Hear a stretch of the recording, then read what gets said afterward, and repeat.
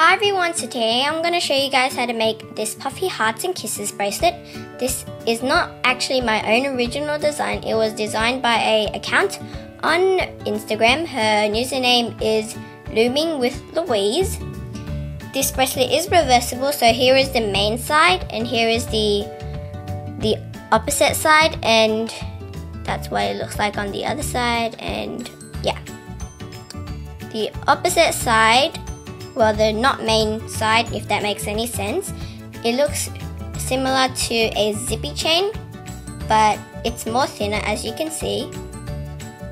But anyways this was originally, originally created on the full length of the rainbow loom on a square set position. But in this tutorial I'm gonna show you guys how to make it with the staggered position for the sake of the people that do not have a rainbow loom and the loom that they have cannot move. So yeah, if you make this awesome design, make sure you take a picture and post it on Instagram and hashtag it to Looming with Louise and also to Tutorials by KN so we can both like and see your creations and your color combos. So without further ado, let's get started. So to get started making this bracelet you will need a rainbow loom or any kind of loom. I'm using beds in the color of medieval pink, gold jelly and metallic white. You will also need a hook. I'm using a metal tipped hook today and you will also need a C-clip. So without further ado, let's get started. So first off, I'm just going to be showing you what colors I'm using for what. So on this bracelet where the white is, I'm going to be using the same color and the white is like the hearts and the background like the blues and the glitter blues on this bracelet. I will be using jelly gold and medieval pink. So this was originally created on a rainbow loom with the square set position but I'm going to be showing you guys how to make it in the staggered position for the people who don't have a rainbow loom that can move. So first off again I'm going to be using white and you will need two of it and you are going to be starting with your red arrow pointing upwards. So you're basically going to be placing a band from there to there. Sorry if the camera is moving. And then place another band there to there and push those down. Now you're going to be grabbing three of your background colors. I'm using gold, um, gold jelly first and then just place it vertically on these two pins and then the other two pins. And make sure you push them down. Now you're going to grab two of your white or whatever color you were using and then do the same thing again and push it it down. So basically you are just going to be doing that all the way down the loom. I'll just show you one more time.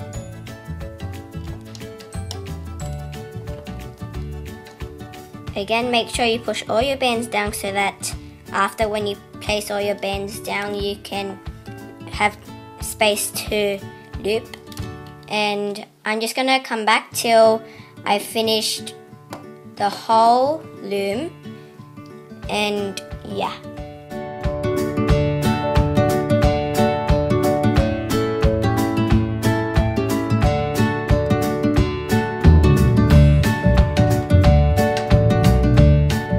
So now I finished the full length of my loom and it should look something like this but in your own colors.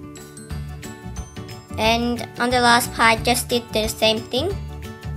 Just put two bends there and two bends there. So it looks like an arrow shooting down. And now we are going to be grabbing one more white band. Turn your loom around and then place a cap band on the middle last peg.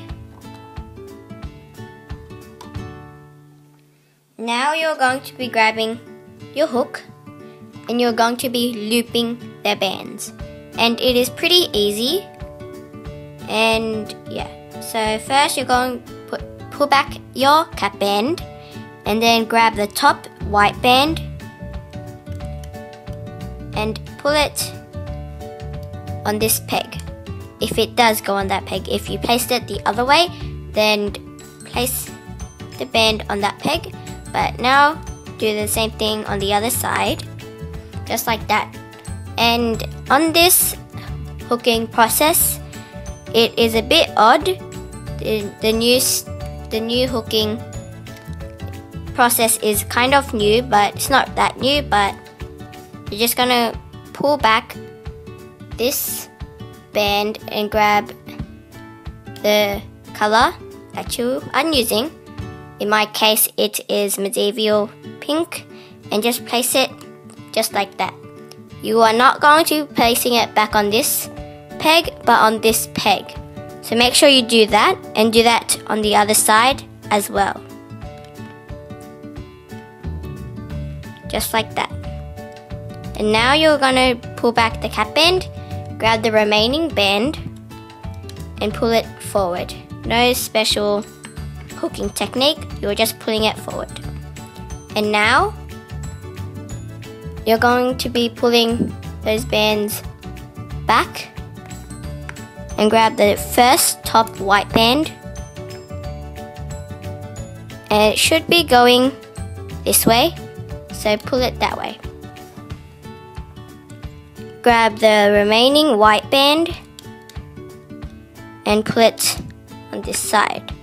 And if you are using a normal opaque band, I'm using a metallic white, you are just going to be getting your hook and spin it around so that the white band or whatever color you are using releases so it doesn't have too much tension on it which will cause it to break. So now you're going to do the same thing as we did before. So pull all those bands back grab the last band and pull it in the middle. Just like that. Do the same thing with the other side. Pull it in the middle. Do the same thing in the middle. Just like that. Now you're going to do the white bands again. So just pull it. Place it on this peg. And then pull the remaining white band and place it on this peg. Now I'm going to show you guys one more time.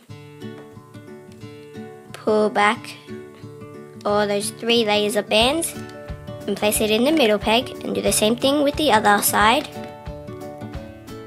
Sorry if the camera is moving again. Now do pull the middle band forward. And remember, never hook the outside the white inside like that, you never do that because that is the wrong. You are doing the opposite, so you are pulling the middle to the outside peg, just like that. Again, if your band gets stuck, twist your hook around it so it loosens up and do the same thing with the other side. So it should look something like this now and you are just going to be continuing that all the way up the loom and then I'll come back and I'll show you guys how to finish it off.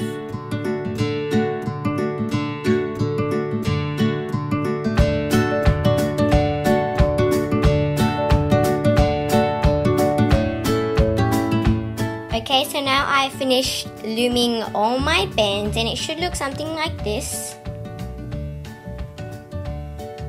And I stopped at the end because it's a little different. You are not going in the middle peg and then pulling it to the outside. You are doing the opposite. So uh, we are just going to be grabbing the white band and pull it in the middle on both sides. It's as easy as that. And now you're just going to stick your hook in. Grab another one, another band of yours. And just pull it through all those bands. Make sure you have all those bands so that when you take it off your loom, it doesn't fall out. So I'm just going to be taking that off. taking the, my bracelet off the loom gently.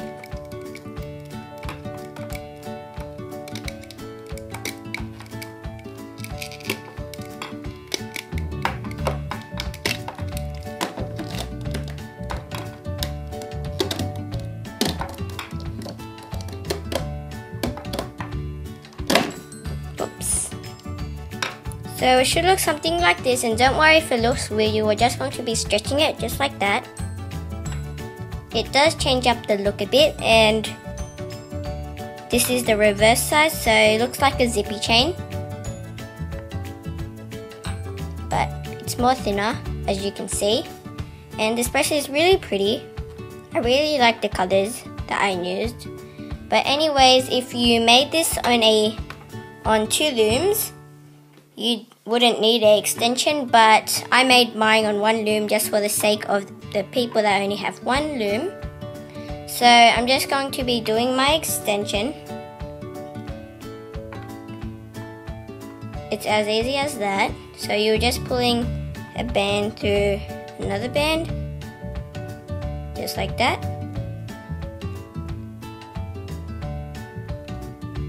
And just need a few more.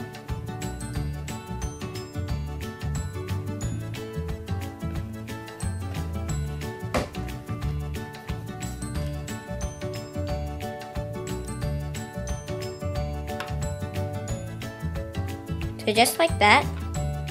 And my wrist is pretty small so I don't need that much of extension bands. But now I'm just to clip it. And then you're done with your bracelet. Just like that. Just find your cap band. And then clip it. And now you have finished your bracelet.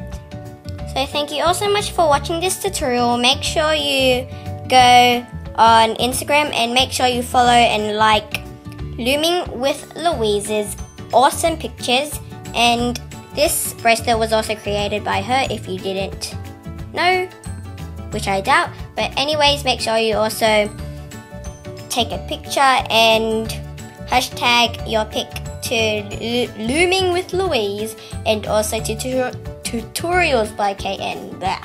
I can't speak at all today, but anyways, I'll see you guys in my next tutorial. Bye!